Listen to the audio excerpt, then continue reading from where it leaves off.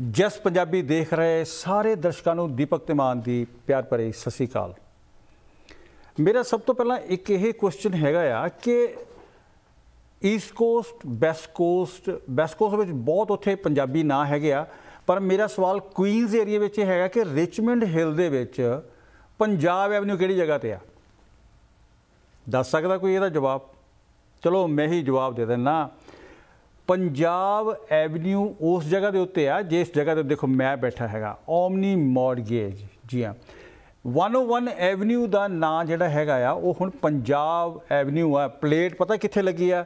ਜਿੱਥੇ Omni mortgage ਵਾਲਿਆਂ ਦਾ ਪੁਰਾਣਾ, ਬਹੁਤ ਕਹਿੰਦਾ ਮਤਲਬ ਇੰਨੀ ਦੇਰ ਤੋਂ ਉੱਥੇ ਉਹਨਾਂ ਦਾ ਆਫਿਸ ਹੈਗਾ ਆ, ਖੂਬਸੂਰਤ। ਚਾਹੇ ਤੁਸੀਂ ਲੈਫਰਸ ਤੋਂ ਆ ਜਾਓ, ਚਾਹੇ 101 ਤੁਸੀਂ ਵੈਨਵਿਕ ਵੱਲੋਂ ਆ ਜਾਓ, ਚਾਹੇ ਤੁਸੀਂ ਲਿਬਰਟੀ ਵੱਲੋਂ ਆ ਜਾਓ, ਮਗਰ ਉਸ ਕਾਰਨਰ ਦੇ ਉੱਤੇ ਤੁਹਾਡੀ ਨਜ਼ਰ ਉਸ ਖੂਬਸੂਰਤ ਆਫਿਸ ਦੇ ਉੱਤੇ ਜ਼ਰੂਰ ਜਾਂਦੀ ਹੈਗੀ ਆ ਓਮਨੀ ਮੌਰਗੇਜ ਤੇ ਆਪਾਂ ਉਹਨਾਂ ਦਾ ਹਰ ਹਫ਼ਤੇ ਪ੍ਰੋਗਰਾਮ ਲੈ ਕੇ ਆਨੇ ਹੈਗੇ ਆ ਔਰ ਪੰਜਾਬ ਐਵਨਿਊ ਰਿਚਮੰਡ ਹਿੱਲ ਬਣ ਗਿਆ ਹੈਗਾ ਆ, ਰਿਚਮੰਡ ਹਿੱਲ ਦੇ ਵਿੱਚ ਹੈਗਾ ਆ ਔਰ ਇਸ ਤੋਂ ਪਹਿਲਾਂ ਮੈਂ ਪ੍ਰੋਗਰਾਮ ਸ਼ੁਰੂ ਕਰਾਂ, ਮੈਂ ਤੁਹਾਨੂੰ ਦੱਸਦਾ ਕਿ ਓਮਨੀ ਮੌਰਗੇਜ ਦੇ ਵਿੱਚ ਤੁਸੀਂ ਕਾਲ ਕਰ ਸਕਦੇ ਹੈਗੇ ਆ, ਤੁਹਾਡੇ ਕੋਈ ਵੀ ਸਵਾਲ ਹੋਣ, ਉਹਦਾ ਨੰਬਰ ਜਿਹੜਾ ਤੁਸੀਂ ਸਾਡੇ ਸਟੂਡੀਓ ਤੇ ਕਾਲ ਕਰਦੇ ਹੋ ਨਹੀਂ ਜਿਹੜਾ ਉਹਨਾਂ ਦੇ ਆਪਣੇ ਨੰਬਰ ਹੈਗੇ ਆ 7184417000 7000 ਸਿਰਫ ਮੋਰੇ ਚੇਂਜ ਕਰਨਾ 516 ਲਗਾ ਦਿਓ ਤਾਂ ਲੌਂਗਾਲੈਂਡ ਵਿੱਚ ਫੋਨ ਚੱਲ ਜਾਂਦਾ। ਔਰ ਦੂਜਾ ਲਗਾ ਦਿਓ ਤਾਂ ਤੁਸੀਂ ਉਹ ਜਿਹੜਾ ਰਿਚਮੰਡ ਹਿੱਲ ਦੇ ਵਿੱਚ ਆ ਜਾਂਦਾ। ਦੋਨੇ ਨੰਬਰ 7184417000 ਤੇ ਆਓ ਹੁਣ ਆਪਾਂ ਸਮਾਂ ਜ਼ਿਆਦਾ ਇੱਧਰ ਉੱਧਰ ਨਾ ਕਰੀਏ ਤਾਂ ਆਪਾਂ ਜਵਾਬ ਸਵਾਲ ਕਰਦੇ ਹੈਗੇ ਆ ਹੱਥ ਸਾਡੇ ਪਿਆਰੇ ਪਿਆਰੇ ਹਰਮਨ ਭਾਜੀ ਔਰ ਗੁਰਦੀਪ ਸਿੰਘ ਜੀ ਦੇ ਨਾਲ। ਤੁਹਾਡਾ ਨਿੱਘਾ ਸਵਾਗਤ ਹੈ ਜੀ ਸਤਿ ਸ੍ਰੀ ਅਕਾਲ। ਸਾਰਿਆਂ ਨੂੰ ਮੇਰੀ ਸਤਿ ਸ੍ਰੀ ਅਕਾਲ ਜੀ। ਹਰਮਨ ਜੀ ਕੀ ਬਾਤ ਹੈ। ਤੁਸੀਂ ਤਾਂ ਸਦਾ ਬਹਾਰ ਲੱਗਦੇ ਹੈਗੇ ਆ। ਮੈਂ 98 ਚ ਤੁਹਾਨੂੰ ਦੇਖਿਆ ਸੀ 98 ਦੇ ਵਿੱਚ। ਅੱਜ ਵੀ ਤੁਸੀਂ ਬਿਲਕੁਲ ਤਿਉਂ ਦੇ ਤਿਉਂ ਜਾਪਦੇ ਹੈਗੇ ਆ। ਔਰ ਗੁਰਦੀਪ ਸਿੰਘ ਵੀ, ਵਾਹ ਕੀ ਬਾਤ ਹੈ। ਹਰਮਨ ਜੀ, ਮੈਂ ਹੁਣੇ ਸਵਾਲ ਕਰਦਾ ਪਿਆ ਸੀਗਾ ਕਿ 101 ਦਾ ਐਵਨਿਊ ਜਿਹੜਾ ਸੀਗਾ ਕਿ ਉਹ ਜਿਹੜਾ ਹੁਣ ਹੈਗਾ ਪੰਜਾਬ ਐਵਨਿਊ ਕਿੱਥੇ ਹੈਗਾ ਔਰ ਦੇਖੋ, ਐਡੀ ਖੂਬਸੂਰਤ ਪਲੇਟ ਬਿਲਕੁਲ ਤੁਹਾਡੇ ਆਫਿਸ ਦੇ ਸਾਹਮਣੇ ਲੱਗੀ ਹੈਗੀ ਆ। ਔਰ ਇਹਦਾ ਜਿਹੜਾ ਉਪਰਾਲਾ ਆ, ਉਹ ਮੇਰਾ ਖਿਆਲ ਤੁਹਾਡੇ ਵੱਲੇ ਜ਼ਿਆਦਾ ਹੋਇਆ ਹੈਗਾ। ਇਹਦੇ ਵਿੱਚ ਸਾਰੀ ਦੁਨੀਆ ਜਿਹੜੀ ਆ, ਜਿੱਥੇ ਵੀ ਉਹ ਦੇਖਦੇ ਹੈਗੇ, ਉਹਨਾਂ ਨੂੰ ਪਤਾ ਲੱਗਦਾ ਕਿ ਹੁਣ ਕਿੱਥੇ ਹੈ ਜੀ। ਜਿਹੜਾ ਪੰਜਾਬ ਐਵਨਿਊ ਹੈਗਾ ਆ, ਉਹ ਓਮਨੀ ਮੋੜ ਗਏ ਦੇ ਮੋਰੇ ਆ। ਓਮਨੀ ਮੋੜ ਜੀ ਕਿੱਥੇ ਆ ਜੀ, ਜਿੱਥੇ ਪਲੇਟ ਲੱਗੀ ਹੋਆ 101 ਦੇ ਉੱਤੇ ਪੰਜਾਬ ਐਵਨਿਊ ਦੀ। ਸੋ ਇਹ ਬੜੀ ਇੱਕ ਖੂਬਸੂਰਤ ਗੱਲ ਹੈਗੀ ਆ ਔਰ ਇਹ ਬੜੀ ਪਹਿਚਾਨ ਰਹਿੰਦੀ ਹੈਗੀ ਆ, ਖਾਸ ਸਾਡੇ ਭੈਣਾ ਭਰਾਵਾਂ ਦੇ ਵਿੱਚ। ਹਰਮਨ ਜੀ, ਮੈਂ ਇਹ ਚਾਹਾਂਗਾ ਕਿ ਸਭ ਤੋਂ ਪਹਿਲਾਂ ਤਾਂ ਤੁਸੀਂ ਮਾਰਗੇਜ ਦੀ ਕੋਈ ਅਪਡੇਟ ਹੈਗੀ ਤਾਂ ਉਹਦੇ ਉੱਤੇ ਜਰੂਰ ਚਾਨਣਾ ਪਾਓ।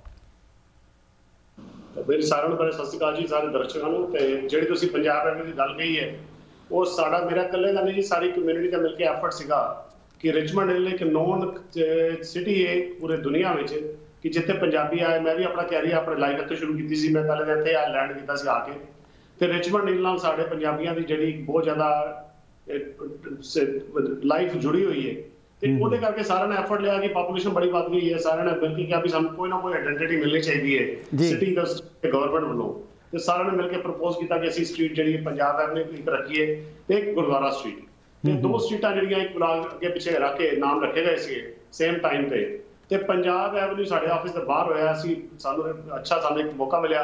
ਸਾਡੇ ਲਈ ਅੱਛਾ ਹੋਇਆ ਕਿ ਇਹ ਉਹਨਾਂ ਨੇ ਡਿਸਾਈਡ ਕੀਤਾ ਕਿ ਅਸੀਂ ਇਸ ਆਫਿਸ ਤੇ ਸਾਡੇ ਆਫਿਸ ਦੇ ਬਾਹਰ ਕਾਰਨਰ ਦਾ ਮੇਜਰ ਇੰਟਰਸੈਕਸ਼ਨ ਹੈਗਾ ਵੇ ਰਿਚਮੰਡ ਹਿੱਲ ਦਾ। ਇੱਥੋਂ ਇੱਥੇ ਸਾਈਨ ਲਾਈਏ। ਉਹ ਸਾਈਨ ਲੱਗਣਾ ਸਾਡੀ ਪਛਾਣ ਬਹੁਤ ਹੋ ਗਈ ਕਿਉਂਕਿ ਹੁਣ ਅਸੀਂ ਜਦੋਂ ਕਿਸੇ ਨੂੰ ਕਲਾਇੰਟ ਕਹਿੰਦੇ ਆ ਕਿ ਤੁਸੀਂ ਆਣਾ ਹੈ ਪੰਜਾਬ ਐਵਨਿਊ ਤੇ ਕੋਨੇ ਜਾ ਬਿਲਕੁਲ ਬਿਲਕੁਲ ਹਾਂ। ਪੰਜਾਬ ਐਵਨਿਊ ਪਾਓ ਤਾਂ ਵਾਕਈ ਵੀ ਸਾਡੇ ਆਫਿਸ ਦੇ ਬਾਹਰ ਪਹੁੰਚ ਜਾਂਦੇ। ਤੇ ਸਾਡੇ ਲਈ ਐਡਰੈਸ ਦੇਣਾ ਈਜ਼ੀ ਹੋ ਗਿਆ। ਦੂਜਾ ਆਪਣਾ ਇੱਕ ਕਲਚਰਲ ਵਾਈਜ਼ ਜੋ ਸਾਡੀ ਬੈਕਗ੍ਰਾਉਂਡ ਹੈ ਸਾਡੀ ਪੰਜਾਬ ਨਾਲ ਵਰਡ ਨਾਲ ਹਰ ਚੀਜ਼ ਸਾਡੀ ਜੁੜੀ ਹੈ। ਰੋਟੀ ਸਾਡੀ ਪੰਜਾਬੀ ਕੱਪੜੇ ਪੰਜਾਬੀ। ਸਾਡਾ ਕਲਚਰ ਹਰ ਚੀਜ਼ ਤੇ ਉਸ ਕਰਕੇ ਸਾਨੂੰ ਜਦੋਂ ਪੰਜਾਬ ਵਰਡ ਆਉਂਦਾ ਹੈ ਸਾਨੂੰ ਜਦ ਗੋਰਿਆਂ ਨੂੰ ਕਹੀਦਾ ਕਿ ਵੀ ਪੰਜਾਬ ਜਿਹੜਾ ਇੱਕ ਵਰਡ ਹੈ ਸਾਡੀ ਸਾਡੇ ਨਾਲ ਬਲੱਡ ਵਿੱਚ ਹੈ ਸਾਡੇ ਨਾਲ ਮਿਲਿਆ ਇਹ with this very proud moment ਔਰ ਸਭ ਤੋਂ ਵੱਡੀ ਗੱਲ ਸਾਡੇ ਆਫਿਸ ਦੇ ਬਾਰੇ। ਹੂੰ ਹੂੰ ਤੇ ਇਹ ਬੜਾ ਵੱਡਾ ਇਤਿਹਾਸਿਕ ਇਵੈਂਟ ਸੀਗਾ ਜਿਹੜਾ ਹੋਇਆ ਕਿ ਸਾਨੂੰ ਪੰਜਾਬ ਐਵਨਿਊ ਦਾ। ਤੇ ਸੈਕੰਡਲੀ ਜਿਹੜੀ ਤੁਸੀਂ ਕਹਿ ਰਹੇ ਹੋ ਅਸੀਂ ਮੌਰਗੇਜ ਮਾਰਕੀਟ ਜਿਹੜੀ ਕਿਵੇਂ ਚੱਲਦੀ ਹੈ? ਦੇਖੋ ਮੌਰਗੇਜ ਮਾਰਕੀਟ ਬਹੁਤ ਬਿਜ਼ੀ ਹੈ ਰੀਅਲ ਬਹੁਤ ਬਿਜ਼ੀ ਹੈ ਇਸ ਟਾਈਮ ਮਾਰਕੀਟ ਜਿਹੜੀ ਹੈ ਆਊਟ ਆਫ ਕੰਟਰੋਲ ਹੈ ਸਿੱਧੀ ਗੱਲ। ਕਿ ਘਰ ਇੰਟਰਸਟ ਰੇਟ ਬਹੁਤ ਲੋ ਨੇ। ਉਸ ਕਰਕੇ ਘਰਾਂ ਦੀ ਮਾਰਕੀਟ ਨੂੰ ਫਾਇਰਵਰਕਸ ਹੋਇਆ ਹੈ ਪੂਰਾ। ਬਹੁਤ ਬਾਇਰ ਬਹੁਤ ਨੇ, ਕਿਉਂਕਿ ਜਦੋਂ ਤੁਸੀਂ ਘਰ ਲੈਣ ਜਾਂਦੇ ਹੋ, ਆਪਣੀ ਪੇਮੈਂਟ ਕੈਲਕੂਲੇਟ ਕਰਦੇ ਹੋ ਵੇਖਦੇ ਹੋ ਇੰਟਰਸਟ ਰੇਟ ਲੋ ਕਰਕੇ ਪੇਮੈਂਟ ਦੀ ਘੱਟ ਬਣਦੀ ਹੈ। ਤੇ ਉਹ ਫਿਰ ਸਾਰੀ ਫੈਮਿਲੀ ਦਾ ਮਾਈਂਡ ਬਣਨਾ ਸ਼ੁਰੂ ਹੋ ਜਾਂਦਾ ਕਰ ਲੈ ਫਿਰ ਫੈਮਿਲੀ ਨੇ ਲਿਆ ਤੇ ਉਹਨਾਂ ਦੇ ਰਿਸ਼ਤੇਦਾਰਾਂ ਨੇ ਮਾਈਂਡ ਬਣਾ ਲਿਆ। ਉਹਨਾਂ ਨੇ ਮਾਈਂਡ ਬਣਾਇਆ ਤਾਂ ਉਹਨਾਂ ਦੇ ਦੋਸਤਾਂ ਨੇ ਮਾਈਂਡ ਬਣਾ ਲਿਆ। ਉਹ ਮਾਈਂਡ ਬਣਨ ਕਰਕੇ ਸਾਰਿਆਂ ਨੇ ਐਫਰਟ ਲਿੱਤਾ ਤੇ ਇੱਕਦਮ ਸਡਨਲੀ ਮਤਲਬ ਇੰਨੇ ਕੁ ਬਾਹਰ ਮਾਰਕੀਟ ਹੈਗੇ ਨੇ ਜਿਹੜੇ ਅਸੀਂ ਅੱਜ ਤੱਕ ਕਦੀ ਵੇਖੇ ਨਹੀਂ ਹੋਏ। ਤੇ mortgage market interest rate low ਸੀਗੇ। ਸੈਲਰ ਨੂੰ ਫਾਇਦਾ ਹੋ ਗਿਆ ਕਿ ਘਰਾਂ ਦੀ ਪ੍ਰਾਈਸ ਇੰਨੀ ਜ਼ਿਆਦਾ ਵਧੀ ਹੈ ਕਿ ਸੈਲਰ ਜਦੋਂ ਵੇਚਦੇ ਨੇ ਉਹਨਾਂ ਨੂੰ ਮੈਕਸਿਮਮ ਪ੍ਰਾਈਸ ਘਰ ਦੀ ਮਿਲਦੀ ਵੀ ਹੈ ਜੋ ਅੱਜ ਤੱਕ ਕਦੀ ਇਹੋ ਜਿਹੀ ਪ੍ਰਾਈਸ ਮਿਲੀ ਨਹੀਂ। ਤੇ it's a win win situation buyer ਤੇ ਸੈਲਰ ਦਾ। ਅਸੀਂ ਘਰ ਵੀ ਵੇਚਦੇ ਹੈਗੇ ਆ ਅਸੀਂ ਲਿਸਟ ਵੀ ਕਰਦੇ ਆ ਘਰਾਂ ਲੈ ਕੇ ਵੀ ਦਿੰਦੇ ਆ ਸਾਡੇ ਕੋਲ ਸਾਡੀ ਟੀਮ ਹੈ ਬੜੀ ਅਗਰੈਸਿਵ ਟੀਮ ਹੈਗੀ ਏ। ਔਰ ਸਾਡੀ ਟੀਮ ਦਾ ਐਡਵਾਂਟੇਜ ਹੈ ਕਿ ਸਾਡੀ ਟੀਮ ਨੇ ਸਾਲਾਂ ਤੋਂ ਅਸੀਂ ਇਕੱਠੇ ਕੰਮ ਕਰਦੇ ਰਹੇ ਹਾਂ। ਗੁਰਦੀਪ ਹੈ ਹੋਰ ਸਾਡੇ ਆਫਿਸ ਏਜੰਟਸ ਹੈਗੇ ਜਿਹੜੇ ਬੜੇ ਬੜੇ ਸਾਲਾਂ ਤੋਂ ਨਾਲ ਕੰਮ ਕਰਦੇ ਨੇ। ਉਹ ਸਾਡਾ ਆਬਜੈਕਟਿਵ ਹੁੰਦਾ ਹੈ ਕਿ ਜੇ ਕਮਿਊਨਿਟੀ ਦਾ ਬੰਦਾ ਕੋਈ ਆਇਆ ਹੈ ਤਾਂ ਉਹਨੂੰ ਆਪਣਾ ਘਰ ਦਾ ਮੈਂਬਰ ਸਮਝ ਕੇ ਉਹਨੂੰ ਉਹਦੇ ਨਾਲ ਅਸੀਂ ਡੀਲ ਕਰੀਏ। ਨਾਲ ਕਿਸੇ ਨੂੰ ਡੀਲ ਕਰੀਏ ਵੀ ਆਜ ਕੋਈ ਕਾਕ ਆਇਆ ਸਮਾਨ ਲਿਆ ਚਲਾ ਗਿਆ। ਉਹ ਸਾਡੇ ਮੈਂਟੈਲਿਟੀ ਨਹੀਂ ਹੈ ਸਾਡਾ ਉਹ ਆਬਜੈਕਟਿਵ ਨਹੀਂ ਹੁੰਦਾ। ਤੇ ਇਸ ਕਰਕੇ ਤੁਸੀਂ ਅਗਰ ਕਰ ਲੈਣਾ ਹੈ ਇੱਕ ਵਾਰੀ ਸਾਨੂੰ ਕਾਲ ਕਰੋ ਮੋਰਗੇ ਬਾਰੇ ਕੋਈ ਕੁਐਸਚਨ ਹੈ ਕਾਲ ਕਰੋ। ਅਸੀਂ ਇੰਨੇ ਸਾਲਾਂ ਇੱਥੇ ਬੈਠੇ ਹਾਂ ਤੁਹਾਡੀ ਸੇਵਾ ਦੇ ਵਿੱਚ। ਸਾਨੂੰ ਬੜਾ ਪ੍ਰਾਊਡ ਹੁੰਦਾ ਕਿ ਜੋ ਅਸੀਂ ਕਮਿਊਨਿਟੀ ਦੀ ਸਪੋਰਟ ਦੇ ਨਾਲ ਕੰਪਨੀ ਇੰਨੀ ਵੱਡੀ ਬਣੀ ਹੈ 25 ਸਾਲ ਹੋਏ ਨੇ। ਤੇ ਮੈਂ ਹਮੇਸ਼ਾ ਹਰ ਸ਼ੋਅ ਦੇ ਵਿੱਚ ਆਪਣਾ ਥੈਂਕ ਯੂ ਪਹਿਲੇ ਕਮਿਊਨਿਟੀ ਨੂੰ ਕਰਦਾ ਕਿਉਂਕਿ ਉਹਨਾਂ ਦੀ ਬਦੌਲਤ ਅਸੀਂ ਇੱਥੇ ਪਹੁੰਚੇ ਹੋਏ ਜੀ। ਅਗਰ ਸਾਡੀ ਕਮਿਊਨਿਟੀ ਨੂੰ ਸਾਥ ਨਾ ਦਿੰਦੀ ਸਾਡੀ ਆਪਣੀ ਕਮਿਊਨਿਟੀ ਤੇ ਆਪਣੀ ਸਾਡੇ ਚੋਕ ਸਾਡੇ ਲੋਕ ਆਪਣੇ ਸਾਥ ਨਾ ਦਿੰਦੇ ਤੇ ਕੰਪਨੀਆਂ ਦੀਆਂ ਦੇਰ ਸਰਵਾਈਵ ਕਰਨੀਆਂ 25 ਸਾਲ ਬਾਜ਼ਾਰ ਦੇ ਵਿੱਚ ਬੜਾ ਮੁਸ਼ਕਿਲ ਹੁੰਦਾ। ਤੇ ਬੜੀ ਸਾਡੇ ਵੀ ਬੜਾ ਜੀ ਅਸੀਂ ਥੈਂਕ ਯੂ ਕਰਦੇ ਆਪਣੀ ਕਮਿਊਨਿਟੀ ਦਾ ਆਪਣੇ ਜਿੰਨੇ ਮੈਂਬਰ ਨੇ ਸਾਰੇ ਸਾਨੂੰ ਚ ਸਪੋਰਟ ਕੀਤਾ ਤੇ ਅਸੀਂ ਅੱਜ ਇੱਥੇ ਖੜੇ ਹਾਂ ਹਰਮਨ ਸਿੰਘ ਜੀ ਇੱਕ ਵਿੱਚੇ ਮੈਨੂੰ ਇੱਕ ਮੇਰੇ ਮਨ ਦੇ ਵਿੱਚ ਸਵਾਲ ਆ ਰਿਹਾ ਕਿ ਤੁਸੀਂ ਇੰਨੇ ਪੁਰਾਣੇ ਕਹਿੰਦਾ ਮਤਲਬ ਕਿ ਜਦੋਂ ਦੇ ਮੇਰੇ ਖਿਆਲ ਪੰਜਾਬੀ ਹਲੇ ਉੱਕਾ ਤੁੱਕਾ ਸੀਗੇ ਆਏ ਇੱਥੇ ਰਿਚਮੈਂਡ ਹਿੱਲ ਦੇ ਵਿੱਚ ਜਾਂ ਨਿਊਯਾਰਕ ਵਿੱਚ ਜਾਂ ਕੁਈਨਸ ਦੇ ਵਿੱਚ ਚਾਹੇ ਨਿਊ ਜਰਸੀ ਦੇ ਵਿੱਚ ਤੁਸੀਂ ਇੰਨੀ ਦੇਰ ਤੋਂ ਮਾਰਟਗੇਜ ਦਾ ਕੰਮ ਕਰਦੇ ਆ ਰਹੇ ਹੈਗੇ ਆ। ਤਾਂ ਹੁਣ ਤੁਸੀਂ ਨਾਲ ਰੀਅਲ ਏਸਟੇਟ ਦਾ ਕੰਮ ਵੀ ਸ਼ੁਰੂ ਕਰ ਦਿੱਤਾ। ਇਹ ਇਹਦਾ ਇਹਦਾ ਕੀ ਇਹ ਦੋਨਾਂ ਦਾ ਕੋਈ ਕੰਸਰਨ ਕਿਸ ਤਰੀਕੇ ਨਾਲ ਤੁਹਾਡੇ ਮਾਈਂਡ 'ਚ ਆਇਆ ਹੈ ਇਹਦਾ ਇਹਦਾ ਕੰਸਰਨ ਹੈ ਜੀ ਕਿ ਮੈਂ ਪਹਿਲੇ ਰੀਅਲ ਦਾ ਕੰਮ ਸ਼ੁਰੂ ਕੀਤਾ ਸੀ 1989 ਦੇ ਵਿੱਚ। ਓਕੇ ਤੇ ਫਿਰ ਉਹ 6 ਸਾਲ ਮੈਂ ਰੀਅਲ ਕੀਤੀ ਕਾਫੀ ਅਗਰੈਸਿਵਲੀ ਤੇ ਉਹਦੇ ਉਸ ਵੇਲੇ ਸਾਡੀ ਕਮਿਊਨਿਟੀ 'ਚ ਇੱਕ ਮਾਰਗੇਜ ਕੰਪਨੀ ਦੀ ਲੋੜ ਸੀਗੀ। ਜੀ। ਤੇ ਮੈਂ ਰਿਅਲਾਈਜ਼ ਕੀਤਾ ਕਿ ਜਦੋਂ ਸਾਡੇ ਆਪਣੇ ਆਪਣੇ ਲੋਕ ਲੋਨ ਕਰਾਉਣ ਜਾਂਦੇ ਸੀਗੇ ਤੇ ਬਹੁਤ ਘੱਟ ਮਾਰਗੇਜ ਕੰਪਨੀਆਂ ਹੁੰਦੀਆਂ ਸੀ ਤਾਂ ਉਹਨਾਂ ਨੂੰ ਫੇਅਰ ਟ੍ਰੀਟਮੈਂਟ ਨਹੀਂ ਮਿਲਦਾ ਸੀ। ਇੰਟਰਸਟ ਰੇਟ ਹਾਈ ਲੱਗਿਆ ਫੀਸ ਜ਼ਿਆਦਾ ਚਾਰਜ ਹੋ ਗਈਆਂ। ਤੇ ਮੈਨੂੰ ਨੀਡ ਮਹਿਸੂਸ ਹੋਈ ਕਿ ਵੀ ਇਹ ਨੀਡ ਜਿਹੜੀ ਹੈ ਫੁੱਲਫਿਲ ਹੋਣੀ ਚਾਹੀਦੀ ਆਪਣੀ ਕਮਿਊਨਿਟੀ ਦੇ ਵਿੱਚ। ਕਿ ਮਾਰਗੇਜ ਦਾ ਪਾਰਟ ਜਿਹੜਾ ਸੀ ਕਿਉਂਕਿ ਏਜੰਟ ਕਾਫੀ ਸੀਗੇ। ਮਾਰਗੇਜ ਦਾ ਕੋਈ ਵੀ ਨਹੀਂ ਸੀਗਾ। ਇਨਫੈਕਟ ਪੂਰੇ ਅਮਰੀਕਾ ਦੇ ਜੋ ਸਲੇ ਟਰਬਨ ਪਗੜੀ ਦਸਤਾਰ ਬਣਿਆ ਆਪਣਾ ਸਿੰਘ। ਮਾਰਗੇਜ 'ਚ ਕੋਈ ਵੀ ਨਹੀਂ ਸੀਗਾ। ਤੇ ਅਸੀਂ ਉਹ ਮੈਂ ਉਸ ਪੋਸਟ ਕਰਕੇ ਮੈਂ ਆਪਣਾ ਮਾਰਗੇਜ ਦਾ ਕੰਮ ਸ਼ੁਰੂ ਕੀਤਾ। ਤੇ ਸਾਡੇ ਮੇਅਰ ਹੋਈ ਵਾਹਿਗੁਰੂ ਦੀ ਕਿ ਸਾਡੇ ਮਾਰਗੇਜ ਦਾ ਕੰਮ ਇੱਕਦਮ ਬਹੁਤ ਵੱਧ ਗਿਆ ਬਹੁਤ ਚੱਲਿਆ। ਤੇ ਅਸੀਂ ਫਿਰ ਮੈਂ ਉਹਨੂੰ ਮਾਰਗੇਜ ਨੂੰ ਫੁੱਲ ਫਲੈਜ ਕਰਨਾ ਸ਼ੁਰੂ ਕਰਤਾ। ਤੇ estate ਨਾਲ ਮੈਂ ਸਾਈਡ ਬਾਈ ਸਾਈਡ ਕਰਦਾ ਸੀ। ਸਾਡੇ ਕੋਲ ਲਾਇਸੈਂਸ ਮੈਂ ਹਮੇਸ਼ਾ ਰੱਖਿਆ ਆਲ ਦਾ ਟਾਈਮ 89 ਤੋਂ ਲਾਇਸੈਂਸ ਹੁਣ ਤੱਕ ਹੈਗਾ। ਤੇ ਹੁਣ ਰੀਸੈਂਟਲੀ ਅਸੀਂ ਪਿਛਲੇ 10-12 ਸਾਲ ਤੋਂ estate ਕਰ ਰਹੇ ਹਾਂ ਸਾਡਾ ਸਾਡੀ ਟੀਮ ਜਿਹੜੀ ਉਹ ਆਲਮੋਸਟ 16-17 ਸਾਲ ਤੋਂ ਟੀਮ ਜਿਹੜੀ ਸੇਮ ਟੀਮ ਹੈਗੀ ਸੇਮ ਏਜੰਟ ਹੈਗੇ ਨੇ। ਜੀ। ਤੇ ਇੱਕ ਹਮ ਰੀਸੈਂਟਲੀ ਅਸੀਂ ਸਾਨੂੰ ਇੰਨੀਆਂ ਕਾਲਾਂ ਆਉਂਦੀਆਂ ਵੀ ਤੁਸੀਂ ਘਰ ਕਿਉਂ ਨਹੀਂ ਕਰਦੇ? ਮੈਂ ਅਸੀਂ ਘਰ ਕਰਦੇ ਹਾਂ ਸਭ ਨੂੰ ਅਸੀਂ ਇਹ ਨਹੀਂ ਕਹਿੰਦੇ ਨਹੀਂ ਕਰਦੇ ਅਸੀਂ ਅਸੀਂ ਹਮੇਸ਼ਾ ਕਰਦੇ ਰਹੇ ਹਾਂ। ਮਗਰ ਉਹ ਇੰਨੀ ਕੁ ਜ਼ਿਆਦਾ ਡਿਮਾਂਡ ਆ ਰਹੀ ਹੈ ਕਮਿਊਨਿਟੀ ਦੀ ਕਿ ਵੀ ਅਸੀਂ ਬਾਹਰ ਜਾਂਦੇ ਹਾਂ ਘਰਾਂ ਦੇਖਣ ਲਈ। ਸਾਨੂੰ ਨਹੀਂ ਪਤਾ ਸੀ ਤੁਸੀਂ ਘਰ ਵੀ ਵੇਚਦੇ ਹੈਗੇ ਹੋ।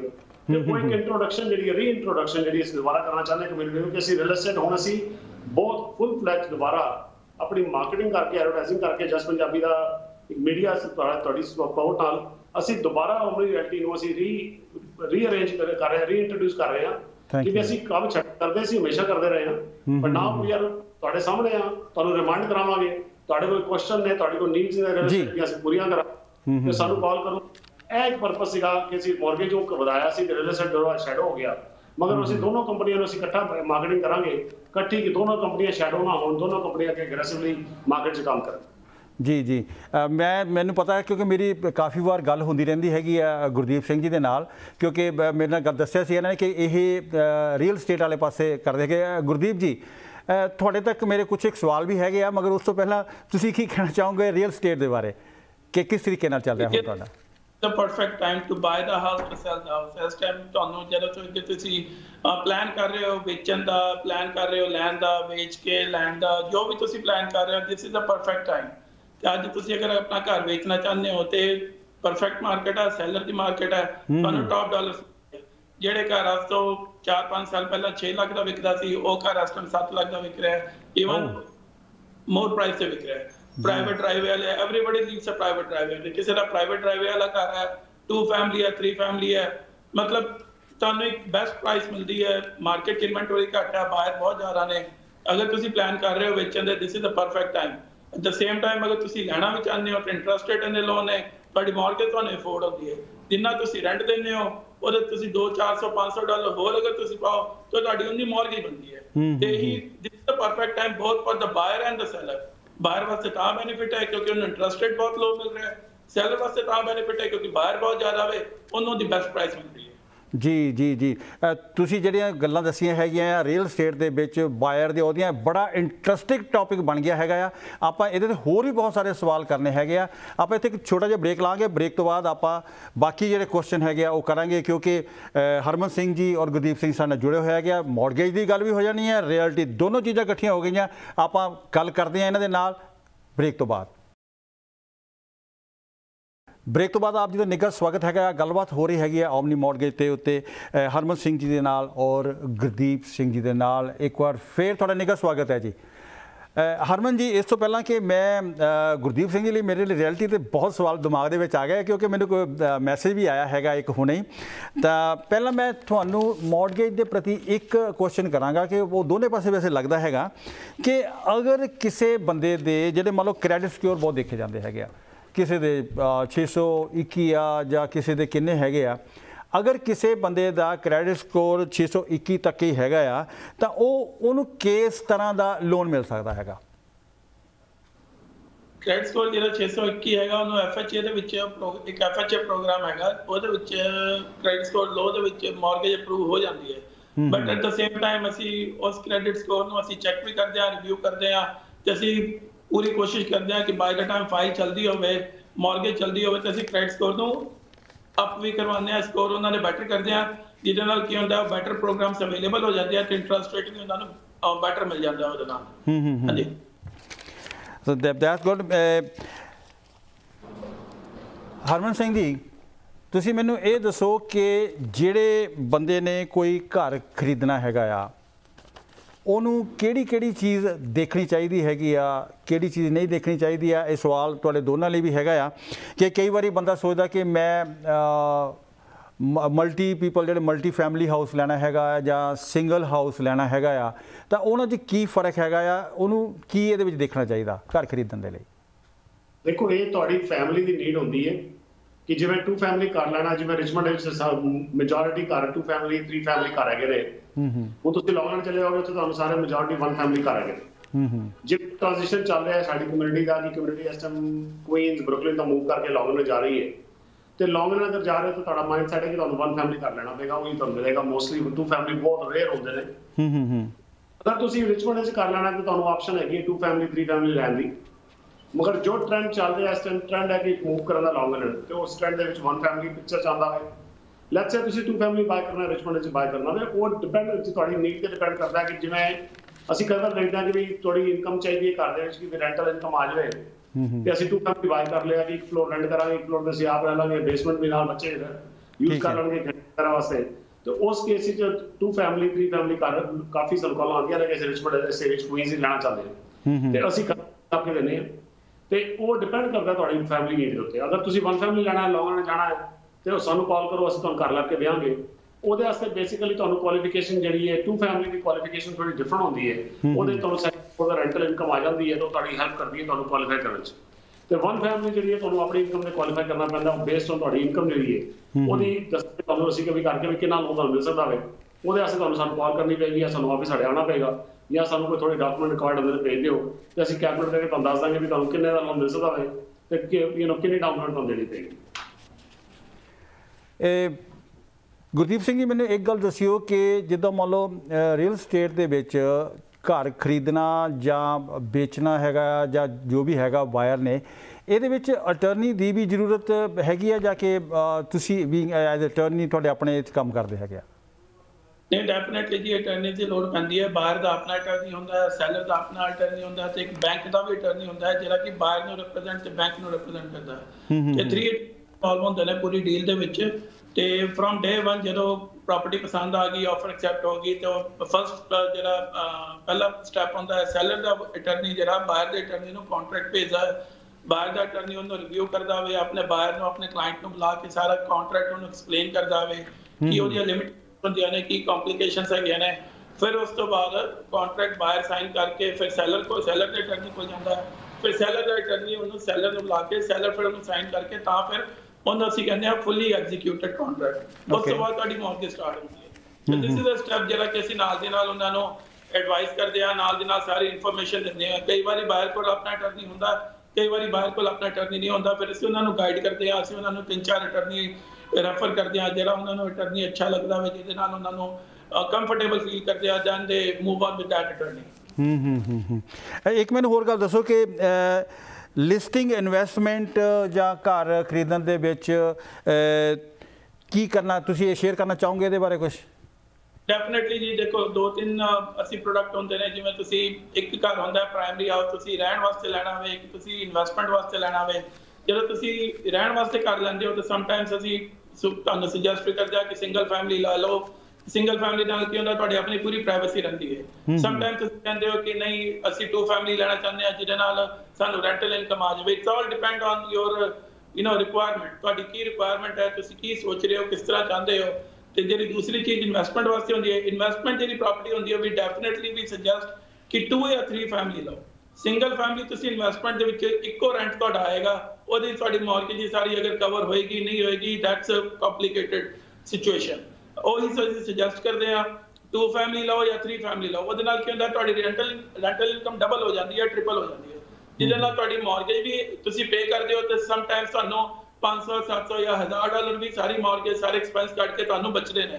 That is a very good option ਤੇ ਅਗਰ ਤੁਸੀਂ ਇਨਵੈਸਟਮੈਂਟ ਦੀ ਅਗਰ ਪ੍ਰੈਫਰ ਕਰ ਰਹੇ ਹੋ ਇਨਵੈਸਟਮੈਂਟ ਦੀ ਪ੍ਰਾਪਰਟੀ ਲੈਣਾ ਚਾਹੁੰਦੇ ਹੋ ਤੁਹਾਡੇ ਕੋਲ ਆਲਰੇਡੀ ਘਰ ਹੈ ਤੁਸੀਂ ਸੋਚਦੇ ਹੋ ਕਿ ਚੱਲ ਮੇਰੇ ਕੋਲ ਪੈਸੇ ਪਏ ਨੇ let's buy something as investment property ਉਹ ਕਾਫੀ ਪ੍ਰਾਪਰਟੀ ਸਾਡੇ ਕੋਲ ਹੈਗੀਆਂ ਨੇ ਸਾਡੇ ਕੋਲ ਆਪਣੀਆਂ ਲਿਸਟਿੰਗਾਂ ਨੇ। We have couple of two families we have 3 family ਪ੍ਰਾਪਰਟੀਆਂ ਵੀ ਹੈਗੀਆਂ ਨੇ ਜਿਹੜੀਆਂ ਕਿ 118 ਸਟਰੀਟ ਤੇ ਹੈ। ਜਿਹੜਾ ਲਿਬਰਟੀ ਐਵਨਿਊ ਤੋਂ ਹਾਫ ਬਲਾਕ ਹੈ ਸਿਰਫ। ਟ੍ਰੇਨ ਸਟੇਸ਼ਨ ਦੇ ਨਾਲ ਹੈ। ਵੈਰੀ ਹਾਈ ਰੈਂਟਲ ਇਨਕਮ ਹੈ।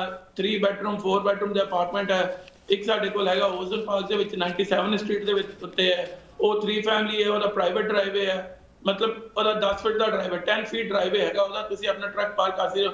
ਕਪਲ ਆਫ ਪ੍ਰਾਪਰਟੀ ਜਿਹੜੇ ਕਿ ਵੈਰੀ ਗੁੱਡ ਇਨਵੈਸਟਮੈਂਟ ਓਪਰਚੁਨਿਟੀਜ਼ ਹੈਗੀਆਂ ਨੇ। ਅਗਰ ਤੁਹਾਡੀ ਕੋਈ ਐਸੀ ਰਿਕੁਆਇਰਮੈਂਟ ਹੈਗੀ ਹੈ ਤੇ ਪਲੀਜ਼ ਡੈਫੀਨਿਟਲੀ ਸਾਨੂੰ ਕਾਲ ਕਰੋ ਤੇ we will help you out ਮੈਂ ਮੈਂ ਵੀ ਇਹ ਦਰਸ਼ਕਾਂ ਨੂੰ ਕਹਿਣਾ ਚਾਹੂੰਗਾ ਕਿ ਦੇਖੋ ਆ ਕਿੰਨੀ ਵੱਡੀ ਓਪਰਚੁਨਿਟੀਜ਼ ਹੈਗੀ ਆ, ਕਿੰਨੇ ਘਰਾਂ ਦੇ ਬਾਰੇ ਗੱਲ ਕੀਤੀ ਹੈਗੀ ਆ ਗੁਰਦੀਪ ਜੀ ਨੇ। ਔਰ ਤੁਸੀਂ ਨੰਬਰ ਨੋਟ ਕਰ ਲਓ ਗੁਰਦੀਪ ਜੀ, ਤੁਹਾਨੂੰ ਕਿਹੜੇ 718 ਵਾਲੇ ਜਾਂ 516 ਵਾਲੇ ਨੰਬਰ ਤੇ ਕਾਲ ਕੀਤੀ ਜਾਵੇ? ਓਕੇ ਜੀ, ਮੈਂ ਦੱਸ ਦਿੰਦਾ ਵੈਸੇ ਤਾਂ ਲਿਖ ਕੇ ਨੰਬਰ ਆ ਰਿਹਾ ਹੈਗਾ, ਤੁਸੀਂ ਦੇਖ ਰਹੇ ਹੈਗੇ 7184417000 718 441 ਤੇ 7000 ਦੇਰ ਨਾ ਕਰੋ, ਫਟਾਫਟ ਪ੍ਰੋਗਰਾਮ ਦੇਖਦੇ ਦੇਖਦੇ ਕਾਲ ਕਰ ਲਓ ਔਰ ਗੁਰਦੀਪ ਦੇ ਨਾਲ ਗੱਲ ਕਰੋ। ਤੁਹਾਨੂੰ ਬਹੁਤ ਵਧੀਆ ਅਪਰਚੂਨਿਟੀ ਔਰ ਬਹੁਤ ਵਧੀਆ ਘਰ ਦਿੱਤੇ ਹੈਗੇ ਆ। ਹਰਮਨ ਜੀ, ਇੱਕ ਮੈਂ ਤੁਹਾਨੂੰ ਸਵਾਲ ਕਰਨ ਲੱਗਾ ਕਿ ਮੰਨ ਲਓ 2020 ਪਿੱਛੇ ਗਿਆ 2021 ਚੱਲਦਾ ਪਿਆ। ਠੀਕ ਹੈ ਜੀ? ਤਾਂ ਉਦੋਂ ਘਰ ਲੈ ਲਿਆ, ਸਾਰਾ ਕੁਝ ਹੋ ਗਿਆ। ਹਲੇ ਕੋਈ ਇੰਨਾ ਜ਼ਿਆਦਾ ਫ਼ਰਕ ਨਹੀਂ ਪਿਆ ਹੈਗਾ ਮਗਰ ਜੌਬਾਂ ਕਰਕੇ ਜੇ ਕਿ ਕੀ ਮੈਂ ਘਰ ਨੂੰ ਦੁਬਾਰਾ ਰੀਫਾਈਨੈਂਸ ਕਰਵਾ ਸਕਦਾ? ਤੁਸੀਂ ਘਰ ਨੂੰ ਕਦੀ ਵੀ ਰੀਫਾਈਨੈਂਸ ਕਰਾ ਸਕਦੇ ਜਿਹੜੇ ਘਰ ਤੁਸੀਂ ਰਹਿੰਦੇ ਹੈਗੇ ਹੋ ਉਹ ਘਰ ਤੁਸੀਂ ਕਦੀ ਵੀ ਰੀਫਾਈਨੈਂਸ ਕਰਾ ਸਕਦੇ ਹੋ। ਕਿਉਂਕਿ ਪਹਿਲੇ ਹੁੰਦਾ ਸੀ ਅੱਜ ਤੋਂ 10 ਸਾਲ ਪਹਿਲੇ ਉਹਦੀ ਲਿਮਿਟੇਸ਼ਨ ਹੁੰਦੀਆਂ ਸੀ ਕਿ ਕਿ ਕਈ ਵਾਰ ਤੁਸੀਂ ਘਰ ਸਾਲ ਜਾਂ 2 ਸਾਲ ਦੀ ਰੀਫਾਈਨੈਂਸ ਨਹੀਂ ਕਰਾ ਸਕਦੇ। ਮਗਰ ਅੱਜ ਕੱਲ ਉਹ ਲਾਅ ਚੇਂਜ ਹੋ ਗਿਆ ਅੱਜ ਕੱਲ ਤੁਸੀਂ ਆਪਣਾ ਘਰ ਕਲੋਜ਼ ਕੀਤਾ ਹੈ 6 ਮਹੀਨੇ ਪਹਿਲੇ ਕੀਤਾ ਹੈ 3 ਮਹੀਨੇ ਪਹਿਲੇ ਕੀਤਾ ਹੈ ਤੁਹਾਨੂੰ ਰੇਟ ਜ਼ਿਆਦਾ ਲੱਗਿਆ ਹੈ ਜਾਂ ਕੋਈ ਸਿਚੁਏਸ਼ਨ ਘਰ ਦੀ ਚੇਂਜ ਹੋ ਗਈ ਹੈ ਕਿਸੇ ਨਾਲ ਮਿਲ ਕੇ ਕਰ ਲਿਆ ਸੀ ਹੁਣ ਘਰ ਦਾ ਨਾਮ ਕਰਨਾ ਚਾਹੁੰਦੇ ਹੋ ਕਿਸੇ ਦਾ ਤੇ ਤੁਸੀਂ ਕਿਸੇ ਵੀ ਟਾਈਮ ਤੇ ਆਪਣਾ primary residence any time refinance ਕਰਾ ਸਕਦੇ ਹੋ। ਕਈ ਵਾਰ ਕਨਫਿਊਜ਼ਨ ਹੁੰਦਾ ਹੈ ਕਿ ਅਸੀਂ ਕਰ ਲਿਆ 6-8 ਮਹੀਨੇ ਜਾਂ ਸਾਲ ਅਸੀਂ ਕੁਝ ਨਹੀਂ ਕਰ ਸਕਦੇ। That is nothing like that ਤੁਸੀਂ ਆਪਣਾ ਮੈਨੂੰ ਕਾਲ ਕਰੋ। ਤੇ ਅਗਰ ਤੇ ਤੁਹਾਡੀ ਕੋਈ ਇਨਵੈਸਟਮੈਂਟ ਪ੍ਰਾਪਰਟੀ ਹੈ ਜਾਂ ਕਮਰਸ਼ੀਅਲ ਪ੍ਰਾਪਰਟੀ ਹੈ ਉਹਦੇ ਵਿੱਚ ਰੈਸਟ੍ਰਿਕਸ਼ਨ ਹੋ ਸਕਦੀ ਹੈ ਕਿ 3 ਸਾਲ 5 ਸਾਲ ਦੀ ਤੁਸੀਂ ਇਹਨੂੰ ਨਹੀਂ ਰੀਫਾਈਨੈਂਸ ਕਰਾ ਸਕਦੇ ਜਾਂ ਨਹੀਂ ਵੇਚ ਸਕਦੇ। ਮਗਰ ਜਿਹੜੀ ਪ੍ਰਾਇਮਰੀ ਜਿਹਦੇ ਤੁਸੀਂ ਰਹਿੰਦੇ ਪਏ ਹੋ ਉਹਦੇ 'ਚ ਕੋਈ ਰੈਸਟ੍ਰਿਕਸ਼ਨ ਨਹੀਂ ਹੈਗੀ। ਤੁਸੀਂ ਜਦੋਂ ਮਰਜ਼ੀ ਰੀਫਾਈਨੈਂਸ ਕਰਾ ਸਕਦੇ ਹੋ। ਓਕੇ ਗੁਰਦੀਪ ਜੀ ਇੱਕ ਸਵਾਲ ਮੈਨੂੰ ਤੁਹਾਡੇ ਤਾਈਂ ਹੈਗਾ ਆ ਕਿ ਜਿਹੜਾ ਬਾਇਰ ਆ ਉਹਨੂੰ ਘਰ ਪਸੰਦ ਆ ਗਿਆ। ਠੀਕ ਹੈ ਜੀ? ਔਰ ਘਰ ਪਸੰਦ ਆਉਣ ਤੋਂ ਬਾਅਦ ਉਹਨੂੰ ਕਿਹੜੇ ਕਿਹੜੇ ਸਟੈਪ ਨੈਕਸਟ ਕਰਨੇ ਪੈਂਦੇ ਹੈਗੇ ਆ ਘਰ ਪਸੰਦ ਆਉਣ ਤੋਂ ਬਾਅਦ? ਘਰ ਪਸੰਦ ਆਉਣ ਤੋਂ ਬਾਅਦ ਦੇਖੋ ਜੀ ਸਭ ਤੋਂ ਪਹਿਲਾਂ ਤਾਂ ਅਸੀਂ ਘਰ ਦੀ ਆਫਰ ਪਾਉਂਦੇ ਆ ਤੇ ਸਮ ਟਾਈਮਸ ਉਸ ਘਰ ਦੇ ਉੱਤੇ ਆਲਰੇਡੀ ਦੋ ਤਿੰਨ ਆਫਰਸ ਹੁੰਦੀਆਂ ਨੇ ਤੇ ਸਾਨੂੰ ਸੈਲਰ ਏਜੰਟ ਹੈ ਉਹ ਕਹਿੰਦਾ ਹੈ ਕਿ give us your best and final offer ਫਿਰ ਅਸੀਂ ਆਪਣੇ ਬਾਇਰ ਨਾਲ ਬੈਠ ਕੇ ਡਿਸਕਸ ਕਰਦੇ ਆ ਉਹਨੂੰ ਐਕਸਪਲੇਨ ਕਰਦੇ ਆ ਮਾਰਕੀਟ ਦੀ ਸਿਚੁਏਸ਼ਨ ਸਮਝਾਉਂਦੇ ਆ ਘਰ ਦੀ ਸਿਚੁਏਸ਼ਨ ਸਮਝਾਉਂਦੇ ਆ ਤੇ ਉਸ ਤੋਂ ਬਾਅਦ ਅਸੀਂ ਇੱਕ ਆਫਰ ਰੀਜ਼ਨੇਬਲ ਆਫਰ ਤੇ ਜਿਹੜੀ ਕਿ ਬਾਇਰ ਨੂੰ ਵੀ ਸੂਟ ਕਰੇ ਤੇ ਸੈਲਰ ਨੂੰ ਵੀ ਸੂਟ ਕਰੇ ਤੇ ਉਹ ਆਫਰ ਅਸੀਂ ਪ੍ਰੈਜ਼ੈਂਟ ਕਰਦੇ ਆ ਅਗਰ ਰੱਬ ਦੀ ਕਿਰਪਾ ਨਾਲ ਆਫਰ ਐਕਸੈਪਟ ਹੋ ਜਾਂਦੀ ਹੈ ਤੇ ਨੈਕਸਟ ਸਟੈਪ ਸਾਡਾ ਹੁੰਦਾ ਹੈ ਕਿ ਅਸੀਂ ਘਰ ਦੀ ਇਨਸਪੈਕਸ਼ਨ ਕਰਵਾਉਂਦੇ ਆ ਘਰ ਭਾਵੇਂ ਬਹੁਤ ਸੋਹਣਾ ਹੋਵੇ ਐਵਰੀਥਿੰਗ ਇਜ਼ ਫਾਈਨ ਸਭ ਕੁਝ ਠੀਕ ਹੈ ਪਰ ਫਿਰ ਵੀ ਇੱਕ ਤਸੱਲੀ ਵਾਸਤੇ ਅਸੀਂ ਘਰ ਦੀ ਇਨਸਪੈਕਸ਼ਨ ਕਰਵਾਉਂਦੇ ਆ ਜਿਹਦੇ ਨਾਲ ਕੀ ਹੁੰਦਾ ਜਿਹੜਾ ਇਨਸਪੈਕਸ਼ਨ ਕਰਨ ਆਉਂਦਾ ਵੇ ਉਹ ਬਾਇਰ ਤੇ ਇਨਸਪੈਕਟਰ ਅਸੀਂ ਨਾਲ ਜਾਂਦੇ ਆ it's a process of 1 to 2 hours ਇੱਕ ਤੋਂ 2 ਘੰਟੇ ਦੇ ਪੂਰੀ ਇਨਸਪੈਕਸ਼ਨ ਕੰਪਲੀਟ ਕਰਦੇ ਉਹਦੇ ਚ ਜਿਹੜਾ ਇਨਸਪੈਕਟਰ ਹੁੰਦਾ ਵੇ ਉਹ ਬਾਇਰ ਨੂੰ ਹਰ ਇੱਕ ਚੀਜ਼ ਐਕਸਪਲੇਨ ਵੀ ਕਰਦਾ ਹੈ ਕਈ ਚੀਜ਼ਾਂ ਉਹਨੂੰ ਨਹੀਂ ਪਤਾ ਹੁੰਦੀਆਂ ਜਿਵੇਂ ਬੋਇਲਰ ਬਾਰੇ ਦੱਸੇਗਾ ਉਹਨਾਂ ਨੂੰ ਸਾਰੇ ਆਊਟਲੈਟਸ ਬਾਰੇ ਦੱਸੇਗਾ ਹੋਰ ਚੀਜ਼ਾਂ ਘਰ ਦੀਆਂ ਹੁੰਦੀਆਂ ਨੇ ਛੋਟੀਆਂ ਛੋਟੀਆਂ ਚੀਜ਼ਾਂ ਜਿਹੜੀਆਂ ਫਸਟ ਟਾਈਮ ਬਾਹਰ ਨੂੰ ਨਹੀਂ ਪਤਾ ਹੁੰਦੀਆਂ। ਉਹ ਇਨਸਪੈਕਟਰ ਸਾਰਾ ਉਹਨਾਂ ਨੂੰ ਐਕਸਪਲੇਨ ਕਰਦਾ ਵੇ, ਸਮਝਾਉਂਦਾ ਵੇ। ਤੇ ਕਈ ਵਾਰੀ ਕਿਸੇ ਚੀਜ਼ ਦੀ ਕੋਈ ਪ੍ਰੋਬਲਮ ਆਉਂਦੀ ਹੈ ਇਲੈਕਟ੍ਰਿਕ ਦੀ ਪ੍ਰੋਬਲਮ ਹੁੰਦੀ ਹੈ ਪਲੰਬਿੰਗ ਦੀ ਪ੍ਰੋਬਲਮ ਹੁੰਦੀ ਹੈ, ਜਿਹੜਾ ਕਿ ਉਹ ਸਾਨੂੰ ਰਿਪੋਰਟ ਦਿੰਦਾ ਹੈ ਤੇ ਅਸੀਂ ਸੈਲਰ ਨੂੰ ਕਹਿੰਦੇ ਭਈ ਆ ਚੀਜ਼ਾਂ ਠੀਕ ਕਰਾ ਕੇ ਦਿਓ, ਨਹੀਂ ਤਾਂ ਸਾਨੂੰ ਕ੍ਰੈਡਿਟ ਦਿਓ। ਔਰ ਲੇਟਰ ਔਨ ਪ੍ਰੋਸੈਸ ਹੈ, ਜਿਹਦੇ ਵਿੱਚ ਅਸੀਂ ਸਟੈਪ ਬਾਈ ਸਟੈਪ ਅਸੀਂ ਹੈਲਪ ਕਰਦੇ ਹਾਂ, ਅਸੀਂ ਨਾਲ ਰਹਿੰਦੇ ਹਾਂ ਆਪਣੇ ਬਾਹਰ ਦੇ, ਸਾਰਾ ਕੁਝ ਐਕਸਪਲੇਨ ਕਰਦੇ ਹਾਂ। ਫਿਰ ਉਸ ਤੋਂ ਬਾਅਦ ਕੰਟਰੈਕਟ ਹੈ ਕੰਟਰੈਕਟ ਤੋਂ ਬਾਅਦ ਮਾਰਗੇਜ ਹੈ। ਸਟੈਪ ਬਾਈ ਸਟੈਪ ਪ੍ਰੋਸੈਸ ਨੇ, ਜਿਹੜੇ ਅਸੀਂ ਕਿ ਨਾਲ ਦੀ ਨਾਲ ਸਾਰਾ ਐਕਸਪਲੇਨ ਕਰਦੇ ਹਾਂ, ਅਸੀਂ ਪੂਰਾ ਗਾਈਡ ਕਰਦੇ ਹਾਂ ਉਹਨਾਂ ਨੂੰ। ਪਰ ਇਹ ਗੱਲ ਤਾਂ ਜ਼ਰੂਰੀ ਹੈਗੀ ਆ ਕਿ ਚਾਹੇ ਮਾਰਗੇਜ ਦਾ ਕੰਮ ਹੈਗਾ, ਚਾਹੇ ਰੀਅਲ ਸਟੇਟ ਦਾ, ਤਾਂ ਇੱਕੋ ਛੱਤ ਦੇ ਥੱਲੇ ਦੋਨੇ ਚੀਜ਼ਾਂ ਹੋ ਸਕਦੀਆਂ ਹੈਗੀਆਂ। ਹਰਮਨ ਭਾਜੀ ਨੂੰ ਮਿਲ ਲਓ ਗੁਰਦੀਪ ਸਿੰਘ ਜੀ ਨੂੰ ਮਿਲ ਲਓ ਔਰ ਖਾਸ ਤੌਰ ਤੇ ਪਹਿਲੇ ਦੱਸੋ ਕਿ ਇਹਨਾਂ ਦੀ ਜਿਹੜੀ ਆਪਣੀ ਜਿਹੜੀ ਟੀਮ ਹੈਗੀ ਆ, ਉਹ ਬਹੁਤ ਹੀ ਮਿਹਨਤੀ ਹੈਗੀ ਆ। ਤੁਹਾਡਾ ਕੋਈ ਵੀ ਕਿਸੇ ਤਰ੍ਹਾਂ ਦਾ ਤੁਸੀਂ ਮੰਨ ਲਓ ਕਿ ਜਨਰਲੀ ਵੀ ਹਰਮਨ ਜੀ ਤਾਂ ਵੈਸੇ ਪਿਛਲੇ ਸਾਲਾਂ ਤੋਂ ਮੈਂ ਪਰਸਨਲੀ ਵੀ ਇਸ ਗੱਲ ਨੂੰ ਜਾਣਦਾ ਹੈਗਾ ਕਿ ਚਾਹੇ ਕੋਈ ਮੌਕਾ ਹੋਵੇ ਕੋਈ ਗੁਰੂਆਂ ਦੇ ਦਿਨ ਆਣ ਤਾਂ ਇਹ ਸੋਸ਼ਲ ਮੀਡੀਆ ਤੇ ਹਰੇਕ ਬੰਦੇ ਦੇ ਨਾਲ ਕੰਟੈਕਟ ਦੇ ਵਿੱਚ ਰਹਿੰਦੇ ਹੈਗੇ ਆ। ਇਹ ਨਹੀਂ ਦੇਖਦੇ ਕਿ ਇਹ ਬੰਦੇ ਮੇਰੇ ਕੋਲ ਘਰ ਖਰੀਦਿਆ ਜਾਂ ਨਹੀਂ ਖਰੀਦਿਆ। ਇੱਕ ਫੈਮਿਲੀ ਦੀ ਜੋ ਇਹ ਸਾਡੇ ਪੰਜਾਬੀਆਂ ਦੀ ਇੱਕ ਫੈਮਿਲੀ ਹੈਗੀ ਆ ਚਾਹੇ ਰਿਚਮੈਂਟ ਹਿਲ ਏਰੀਆ ਹੈਗਾ ਚਾਹੇ ਹਿਕਸਵਿਲ ਏਰੀਆ ਹੈਗਾ ਉਹਦੇ ਵਿੱਚ ਇਹਨਾਂ ਦਾ ਨਾਂ ਵੀ ਹਰਮਨ ਹੈਗਾ ਇਹ ਵੈਸੇ ਵੀ ਬਹੁਤ ਹਰਮਨ ਹੈਗੇ ਆ। ਅ, ਹਰਮਨ ਜੀ, ਜਾਂਦੇ ਜਾਂਦੇ ਤੁਸੀਂ ਕੋਈ ਸੁਨੇਹਾ ਜਾਂ ਕੀ ਕਹਿਣਾ ਚਾਹੋਗੇ? ਜਾਂਦੇ ਜੀ, ਦੇਖੋ, ਮੈਂ ਸਾਰਿਆਂ ਨੂੰ ਇੱਕ ਕਰਦਾ ਬਾਰ-ਬਾਰ ਕਿ ਜਦੋਂ ਤੁਸੀਂ ਅਮਰੀਕਾ ਆਉਂਦੇ ਹੋ, ਸਭ ਤੋਂ ਡਿਫਿਕਲਟ ਕੰਮ ਹੁੰਦਾ ਅਮਰੀਕਾ ਆਉਣਾ। ਅਮਰੀਕਾ ਆ ਕੇ ਫਿਰ ਸੈਟਲ ਹੋਣਾ ਤੇ ਉਸ ਤੋਂ ਬਾਅਦ ਜਿਹੜਾ ਮੋਸਟ ਜਿਹੜਾ ਡ੍ਰੀਮ ਹੈ, ਉਹ ਡ੍ਰੀਮ ਹੁੰਦਾ ਅਮਰੀਕਾ ਚ ਕਹਿੰਦੇ ਨੇ ਵੀ own your own dream house ਕਿ ਤੁਸੀਂ ਆਪਣਾ ਘਰ ਖਰੀਦੋ। ਇਹ ਅਮਰੀਕਨ ਡ੍ਰੀਮ ਹੈ ਕਿ ਜਦੋਂ ਘਰ ਮਿਲ ਗਿਆ ਇਟ ਮੀਨਸ ਉਹਦਾ ਡ੍ਰੀਮ ਪੂਰਾ ਅਕੰਪਲਿਸ਼ ਹੋ ਗਿਆ। ਆ ਵੀ ਗਏ ਸੈਟਲ ਵੀ ਹੋ ਗਏ, ਘਰ ਵੀ ਲੈ ਲਿਆ, ਤੇ ਘਰ ਤੋਂ ਵੱਡੀ ਚੀਜ਼ ਤੇ ਕੋਈ ਬੰਦਾ ਇਨਸਾਨ ਰਹਿੰਦਾ ਨਹੀਂ ਆਪਣੀ ਲਾਈਫ ਵਿੱਚ। ਤੇ ਇਸ ਕਰਕੇ ਬਿਗੇਸਟ ਇਨਵੈਸਟਮੈਂਟ ਜਿਹੜੀ ਔਰ ਜਿਹੜੀ ਤੁਹਾਨੂੰ ਫੈਮਿਲੀ ਵਾਸਤੇ ਅੱਛੀ ਹੈ ਉਹ ਇੱਕ ਤੁਹਾਡਾ ਆਪਣਾ ਘਰ ਹੈ ਜਿਹਦੇ ਵਿੱਚ ਫੈਮਿਲੀ ਇੰਜੋਏ ਕਰਦੀ ਹੈ ਬੈਠਦੀ ਹੈ ਯੂ نو ਤੁਸੀਂ ਯੂ نو ਡਿਪੈਂਡ ਕਰਦਾ ਕਿੱਥੇ ਲੈਂਦੇ ਹੈਗੇ ਹੋ ਤੇ ਮੈਂ ਐਨਕਰੇਜ ਕਰਦਾ ਸਾਰਿਆਂ ਨੂੰ ਕਿ ਜਦੋਂ ਮੈਂ ਆਇਆ ਸੀ ਮੈਨੂੰ ਵੀ ਗਾਈਡ ਮਿਲੀ ਸੀ ਗਾਈਡੈਂਸ ਮੈਨੂੰ ਮੇਰਾ ਇਟਾਲੀਅਨ ਬ੍ਰੋਕਰ ਸੀਗਾ ਤੇ ਅਸੀਂ ਵੀ ਮੈਂ ਆਪਣੇ ਆਪਦਿਆਂ ਰਿਸਰਚ ਬੜੇ ਥੋੜੇ ਦਿਨਾਂ ਥੋੜੇ ਸਾਲਾਂ 'ਚ ਮੈਂ ਕਰ ਲੈ ਲਿਆ ਸੀਗਾ ਕਿਉਂਕਿ ਗਾਈਡੈਂਸ ਮਿਲੀ ਗਾਈਡੈਂਸ ਨਹੀਂ ਮਿਲਦੀ ਸਾਡੇ ਕੋਲ ਕਈ ਨੇ ਜਿਹੜਾ 20 ਸਾਲ ਤੋਂ ਰਹਿ ਰਹੇ ਨੇ ਕਰ ਨਹੀਂ ਲਿਆ ਜਦੋਂ ਸਾਡੇ ਕੋਲ ਆਏ ਤੇ ਅਸੀਂ ਉਹਨੂੰ ਗਾਈਡ ਕੀਤਾ ਕਿ ਤੁਹਾਨੂੰ ਪੈਸੇ ਇੰਨੇ ਚਾਹੀਦੇ ਨੇ ਇੰਨੇ ਚਾਹੀਦੇ ਨੇ ਉਹ ਹੈਰਾਨ ਹੋਏ ਨੇ ਸੋਚਦੇ ਅਸੀਂ 15 20 ਸਾਲ ਵੇਸਟ ਕਰ ਲਏ। ਜਿਹੜਾ ਘਰ 2 ਲੱਖ ਦਾ ਸੀਗਾ ਜੋ ਘਰ 8 ਲੱਖ ਦਾ ਹੋ ਗਿਆ। ਮੇਰੇ ਕੋਲ ਕਈ ਕੇਸਿਸ ਹੈਗੇ ਨੇ ਜਿਨ੍ਹਾਂ ਦੇ 2 ਲੱਖ ਦੇ ਘਰ ਵੀ ਸੀਗੇ ਟਾਈਮ ਸੀ ਲੈਣ ਦਾ ਨਹੀਂ ਲਿਆ ਹੁਣ ਲੈਣਾ ਹੈ ਤਾਂ 8 ਲੱਖ 9 ਲੱਖ ਦਾ ਸੇਵ ਕਰੋ ਤੇ ਇਸ ਕਰਕੇ ਮੈਂ ਐਨਕਰੇਜ ਕਰਦਾ ਕੋਈ ਆਬਲੀਗੇਸ਼ਨ ਨਹੀਂ ਹੈ। ਸਾਡੇ ਵੱਲੋਂ free adviser free advice free help ਵੀ ਕਰ ਸਕਦੇ ਅਸੀਂ। ਜਾਂ ਜਾਂ ਜਾਂ ਕਿਸੇ ਕਿਸੇ ਵੀ ਵੇਲੇ ਕਿਸੇ ਨੂੰ ਵੀ ਕੋਈ ਜ਼ਰੂਰਤ ਪਵੇ ਤਾਂ ਹਮੇਸ਼ਾ ਯਾਦ ਰੱਖੋ ਤੁਸੀਂ ਇੱਕੋ ਨਾ Omni Mortgage Omni Reality Punjab Avenue Richmond Hill New York ਸੇ ਦੋਸਤੋ ਇਸ ਤੋਂ ਪਹਿਲਾਂ ਕਿ ਆਪਾਂ ਉਹਨਾਂ ਤੋਂ ਇਜਾਜ਼ਤ ਲਈਏ। ਮੈਂ- ਫਤਿਹ ਬੁਲਾ ਦਿੰਦਾ ਉਹਨਾਂ ਨੂੰ ਕਿ ਹਰਮਨ ਜੀ ਔਰ ਗੁਰੀਬ ਜੀ ਬਹੁਤ ਬਹੁਤ ਪਿਆਰ ਭਰੀ ਸਤਿ ਸ਼੍ਰੀ ਅਕਾਲ ਤੁਹਾਨੂੰ ਔਰ ਅਗਲੇ ਹਫ਼ਤੇ ਤੁਹਾਡਾ ਨਾਲ ਫੇਰ ਮੁਲਾਕਾਤ ਹੋਏਗੀ। ਔਰ ਪਿਆਰੇ ਦੋਸਤੋ, ਇਹ 'ਚ ਕੋਈ ਸੰਗਣ ਵਾਲੀ ਗੱਲ ਨਹੀਂ ਹੈਗੀ। ਤੁਹਾਨੂੰ ਕੋਈ ਵੀ ਸਵਾਲ ਹੈ, ਕਿਸੇ ਤਰੀਕੇ ਦਾ ਵੀ ਸਵਾਲ ਹੈਗਾ, ਇੱਕੋ ਛੱਤ ਦੇ ਥੱਲੇ ਤੁਹਾਨੂੰ ਦੋਨੋਂ ਜਵਾਬ ਮਿਲ ਜਾਣਗੇ। Omni mortgage Richmond Hill. 101 avenue ਜਾਂ ਫਿਰ ਪੰਜਾਬ ਐਵਨਿਊ ਯਾਦ ਰੱਖੋ ਫੋਨ ਨੰਬਰ ਤੁਸੀਂ ਦੇਖ ਲਏ ਹੈਗੇ ਆ, ਉਹਨਾਂ ਨੂੰ ਕਾਲ ਕਰੋ ਔਰ ਉਹਨਾਂ ਦੇ ਨਾਲ ਗੱਲਬਾਤ ਕਰੋ, ਤੁਹਾਨੂੰ ਸਲਾਹ ਮੁਫਤ ਤੋਂ ਮੁਫਤ ਮਿਲੇਗੀ। ਇਸ ਦੇ ਨਾਲ ਹੀ ਦੀਪਕ ਤੇ ਮਾਨੂੰ ਦਿਓ ਇਜਾਜ਼ਤ, ਮਿਲਾਂਗੇ ਅਗਲੇ ਹਫ਼ਤੇ, ਪਿਆਰ ਭਰੀ, ਸਤਿ ਸ਼੍ਰੀ ਅਕਾਲ।